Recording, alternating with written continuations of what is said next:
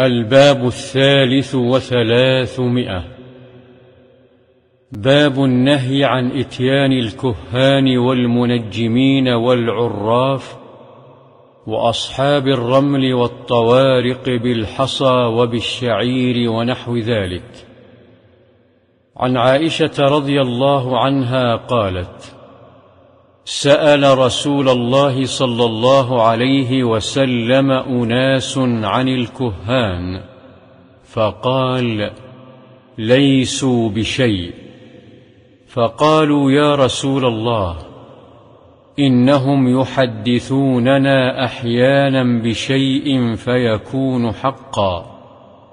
فقال رسول الله صلى الله عليه وسلم تلك الكلمة من الحق يخطفها الجني فيقرها في أذن وليه فيخلطون معها مئة كذبة.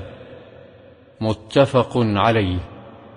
وفي رواية للبخاري عن عائشة رضي الله عنها أنها سمعت رسول الله صلى الله عليه وسلم يقول إن الملائكة تنزل في العنان وهو السحاب فتذكر الأمر قضي في السماء فيسترق الشيطان السمع فيسمعه فيوحيه إلى الكهان.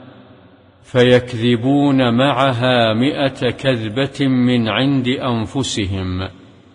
قوله فيقرها هو بفتح الياء وضم القاف والراء أي يلقيها والعنان بفتح العين.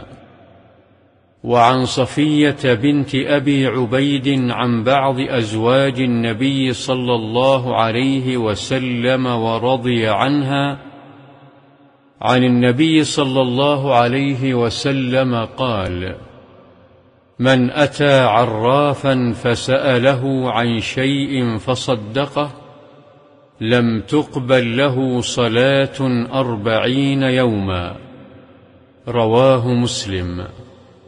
وعن قبيصة بن المخارق رضي الله عنه قال سمعت رسول الله صلى الله عليه وسلم يقول العيافة والطيرة والطرق من الجبت. رواه أبو داود بإسناد حسن. وضعفه الشيخ الألباني رحمه الله. وقال الطرق هو الزجر أي زجر الطير. وهو أن يتيمن أو يتشاءم بطيرانه فإن طار إلى جهة اليمين تيمن وإن طار إلى جهة اليسار تشاءم. قال أبو داود والعيافة الخط. قال الجوهري في الصحاح الجبت كلمة تقع على الصنم والكاهن والساحر ونحو ذلك. وعن ابن عباس رضي الله عنهما قال قال رسول الله صلى الله عليه وسلم من اقتبس علما من النجوم اقتبس شعبة من السحر زاد ما زاد. رواه أبو داود بإسناد صحيح.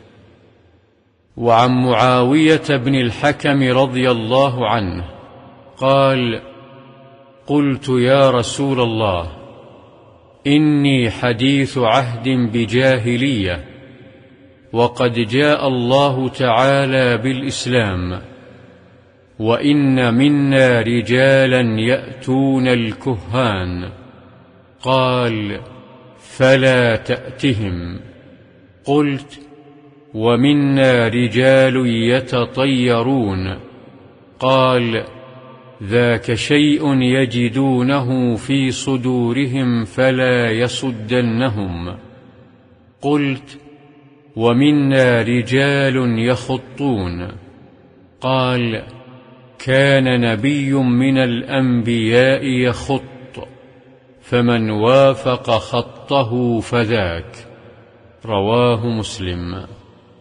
وعن أبي مسعود البدري رضي الله عنه أن رسول الله صلى الله عليه وسلم نهى عن ثمن الكلب ومهر البغي وحلوان الكاهن.